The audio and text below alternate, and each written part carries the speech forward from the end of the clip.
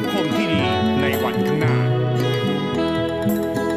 เป็นทูตอารยสถาปัตย์เจิดจรัสในวัยเยาวชน ส่งเสริมสร้างสรรค์สังคม ด้วยอุดมการณ์ของคนรุ่นใหม่ เมืองไทยสวยทุกที่เท่ทุกเวลา Amazing ไทยเท่การท่องเที่ยวแห่งประเทศไทย อพท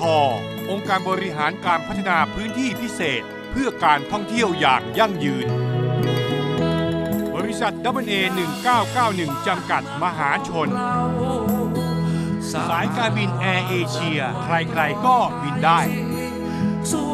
บริษัทสยามพิวัตรจำกัด ศูนย์การค้าสยามพารากอน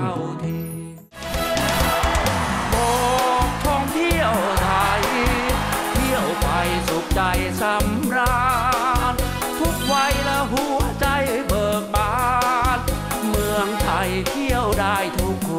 จังหวัดเลย รวมพลังทุกภาคส่วนร่วมกันขับเคลื่อนและพัฒนา ธุรกิจการท่องเที่ยวเพื่อคนทั้งมวล ในแบบเลยทัวริซึม for all โดยอพทองค์การบริหารการพัฒนาพื้นที่พิเศษเพื่อการท่องเที่ยวอย่างยั่งยืน ร่วมกับทททการท่องเที่ยวแห่งประเทศไทย พัฒนาสังคมและความมั่นคงของมนุษย์จังหวัดเลย และเครือข่ายมนุษย์ล้อทูตอารยสาปัตย์ จากการส่งเสริมการจ้างงานคนพิการของสายการบินไทยแอร์เอเชีย และมูลที่อารยสถาปัตเพื่อคนทั้งมวล ได้ร่วมกันลงพื้นที่รณรงค์เสริมสร้างความรู้ความเข้าใจ ให้กับชาวบ้าน ผู้นำชุมชน และผู้ประกอบการธุรกิจการท่องเที่ยว ผู้ประกอบการธุรกิจการโรงแรม ที่พักโฮมสเตย์และร้านอาหาร ในพื้นที่ท่องเที่ยวริมแม่น้ำโขงที่อำเภอเชียงคานจังหวัดเลยครับ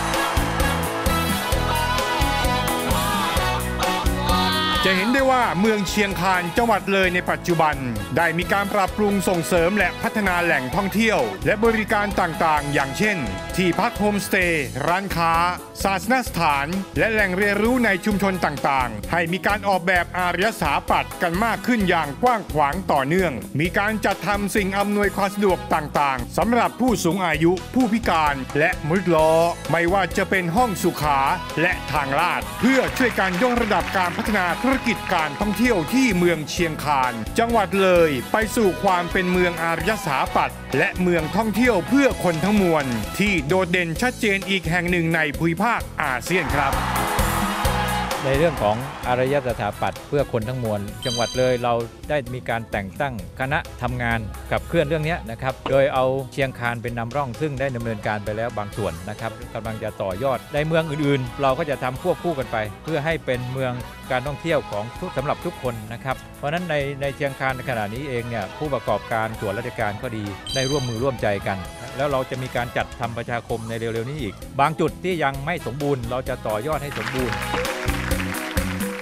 องค์ประกอบเรื่องการท่องเที่ยวอย่างยั่งยืนที่สำ คัญที่สุดก็คือเรื่องของการมีจัดให้บริการที่จะให้ทุกคนสามารถเข้าถึง ซึ่งไม่ใช่พี่น้องมนุษย์ล้ออย่างเดียวนะครับผู้สูงอายุผู้ที่มีข้อจำกัดในเรื่องของการเคลื่อนไหวทางกายภาพต่างๆ ทั้งหมด ซึ่งอปทเราเนี่ยมาขีดพื้นที่ที่อำเภอเชียงคานนี่แหละครับเป็นพื้นที่นำร่องต้นแบบ แล้วก็จะส่งเข้าสู่เกณฑ์การประเมินการท่องเที่ยวอย่างยั่งยืนโลกภายในปีงบประมาณนี้นะครับแล้วก็ในสิ้นเดือนนี้เนี่ยการท่องเที่ยวอย่างยั่งยืนโลกที่เชียงใหม่เคสวันนี้ครับภาพที่เก็บในวันนี้นะครับก็จะไปนำเสนอสู่สายตาประชาคมโลก เพื่อยกระดับภาพลักษณ์ของเชียงคานให้เป็นเมืองแห่งการท่องเที่ยวอย่างยั่งยืน ที่ใส่ใจนะครับต่อทุกคน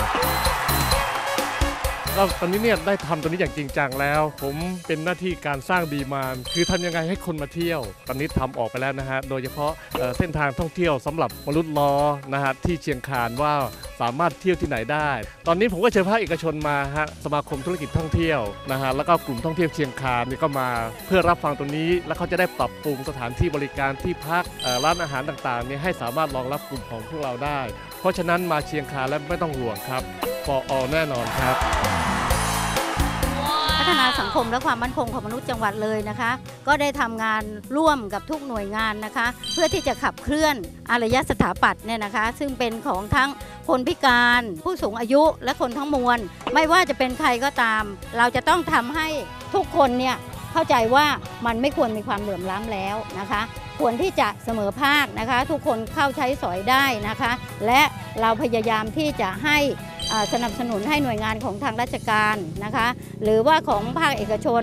ได้จัดทำสิ่งอำนวยความสะดวก เพื่อให้เข้าถึงและใช้ประโยชน์ได้อย่างแท้จริงนะคะเชียงคานจังหวัดเลยเมืองอารยสถาปัตย์เมืองท่องเที่ยวเพื่อคนทั้งมวล